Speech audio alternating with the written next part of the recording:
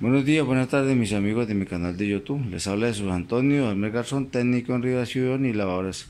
En este momento siguiendo, eh, estaba comentando acerca de una lavadora de Evo. ¿sí? El problema que presenta es que no me prende. ¿ya?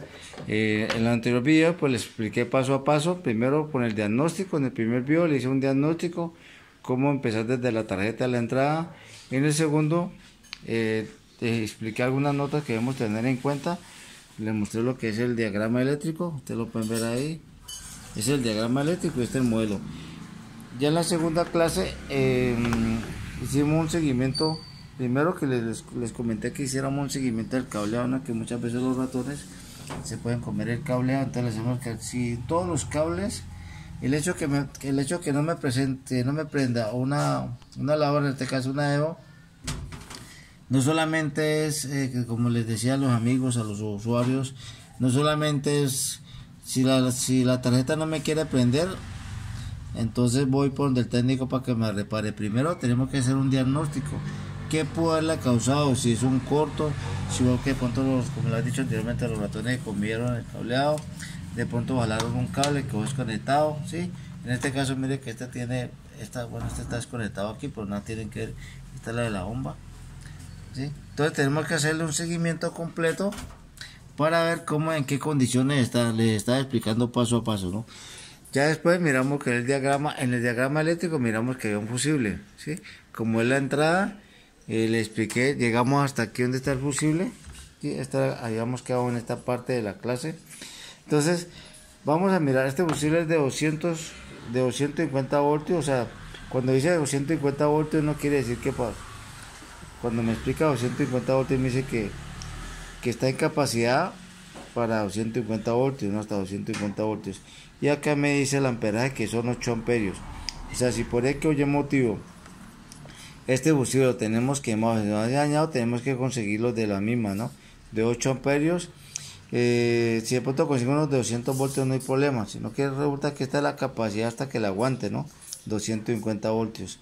O sea, eh, entonces entonces, ¿qué es lo que hicimos ahora? ¿Qué es lo que vamos a hacer ahora? Vamos a probar en qué condiciones está el fusible. Si ya miramos que el fusible está bueno, entonces vamos a llegar hasta la tarjeta. Vamos a llegar hasta la tarjeta.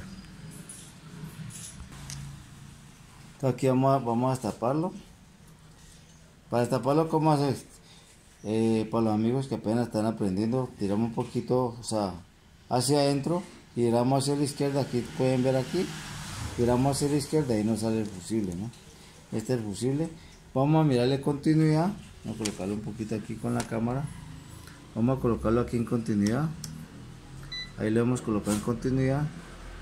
En este caso pues utilizamos la pinza que tiene el multímetro ahí.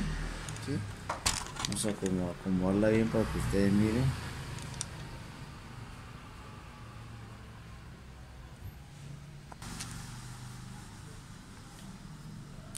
Entonces vamos a probar el fusible en qué condiciones está ahí me está dando continuidad. Una pregunta que me hice muchos amigos, el hecho de cambiar el fusible, por eso es que le digo siempre, ¿no? El hecho de cambiar el fusible no quiere decir que cambiar el fusible, si la, si la, si la, si la lavadora me llega a prender, ya cuando cambié el fusible, debemos, debemos también revisar si de pronto algún cable pelado o algo, algo hizo que se nos, se nos hiciera que se dañara el fusible, quemar el fusible. Si revisamos y miramos que está en buenas condiciones todo el cableado, todas las entradas, no hay ningún problema, podemos colocarlo. Pudo haber sido una regulación de voltaje, una mala regulación de voltaje que me pudo haber quemado el fusible.